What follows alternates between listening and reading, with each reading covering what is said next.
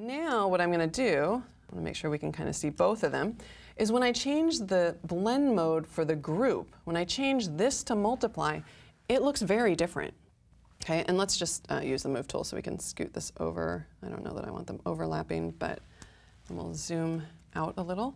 All right, so you can see each one here, it's like a cumulative effect where each one is blending with the layers below it. When you change the blend mode for a layer group, what happens is it, Photoshop kind of pretends like all the layers within that group are merged together. And then it applies the effect.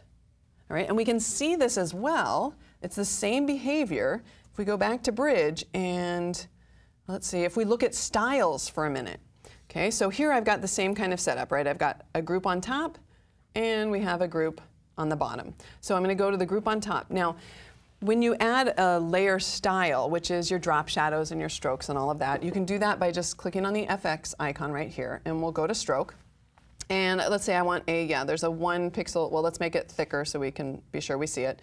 And you guys know, right, like if you set up your stroke, because I like my stroke usually to be on the inside. It's not really going to work on this file, but a lot of times if, if I'm just trying to put a key line around a frame, I want it on the inside.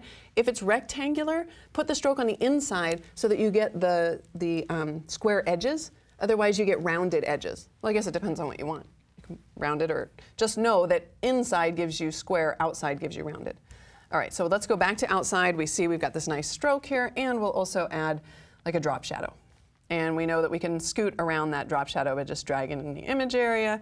But what I want to do is I want to make sure it overlaps this circle right here. Okay, so we click OK. So I've applied that shape to one layer. The easiest way to go ahead and apply it to other ones, I can drag it down there and I can hold down the option key to move it just like we were moving the layer mask a minute ago.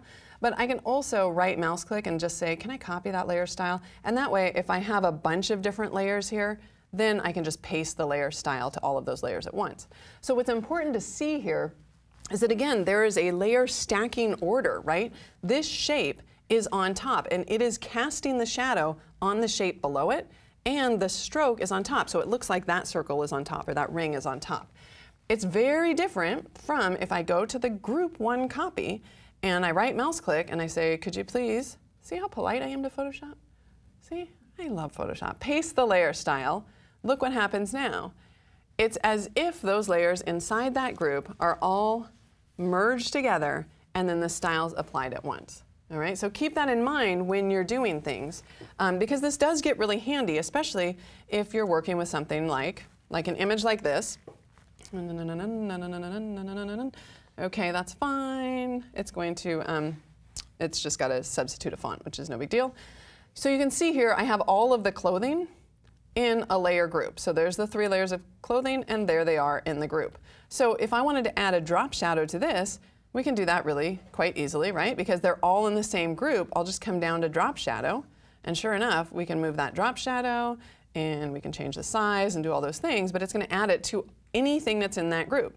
So if I were to take something out of the group, right? If I take this layer and bring it out of the group, well, some other things are going to happen too. I'll have to hide that layer. But you can see that that shirt, no, or that blouse, I guess, no longer has a drop shadow associated. But if I put this back in, and we toggle that on, and we clip it again like it was, then we can see that it automatically gets the drop shadow. So anything that I put into that group will automatically get that drop shadow applied to it.